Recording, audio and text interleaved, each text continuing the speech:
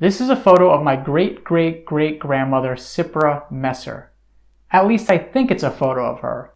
Given the fact that the family lived a really long time ago, there are many things about this branch that I'm a little bit uncertain about, but I think I've done a fairly good job with what records are available. Welcome to part 16 of this series where I talk about a family branch of mine, let you in on what I've learned about them, what I haven't been able to learn about them, and how I got to the conclusions that I did. I'm Yona Paley and I believe genealogy is fun, and I'm happy to take you on this journey through my own family tree.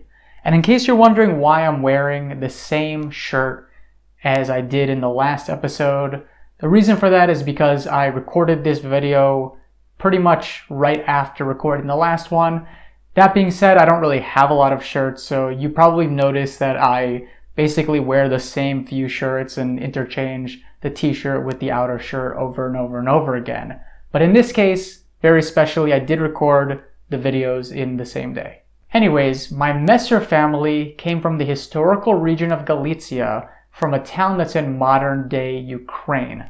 Before we get into this incredible story and learn about the family history that I was able to figure out, I actually have an opportunity to present to all of you, which is that you can demolish the like button, also subscribe to the YouTube channel, and hit the notification bell so you'll be notified whenever I post new videos. That will really help me out and help out this channel. So thank you so much for doing that. Let's begin. The marriage record of my ancestor Chaim David Leichtling lists his parents as Hirsch Leichtling and Sipra Messer. Now, Sipra died in 1916 in Borislav, and her death certificate gives us the town that she was from, which is modern day Novi Strilyshcha, Ukraine, as well as the name of her parents, Moses Messer and Nechi. Nechi, who was born around 1805, died in 1882, and Moses, well, it's uncertain exactly when he was born or died. There actually aren't a ton of records for Messers from Novi Strilyshcha, so I went about piecing together all the documents from JRI Poland and Gesher Galicia that I was able to find. There is an entire sizable branch headed by a guy named Elkun Messer, which sadly I haven't been able to connect with my tree. However, I did manage to figure out that Sipra had a younger brother named Ozias Hirsch, aka Alter Messer. He was born in 1840, and descendants of his son Nathan have popped up as strong genetic matches to my grandaunt. The DNA match had been floating around on Ancestry for a while, and I knew that they were related to my Messer family because they were from Novi Strilyshcha and they had the last name Messer, but I hadn't been able to figure it out for a really long time until Gesher Galicia had uploaded some vital documents from that town, and it really helped me to figure out exactly how he was related to my great great great grandmother. Given how small the Messer family from Novi Strilyshcha seems to have been, I'm fairly confident that Elkun Messer is related to my branch, but I'm not entirely sure whether I'll ever be able to figure out exactly how. And this is because I was able to find his death record, but it doesn't list his parents. So this is a bit of a challenge because a lot of times with people who were really old when they died in old Galician records.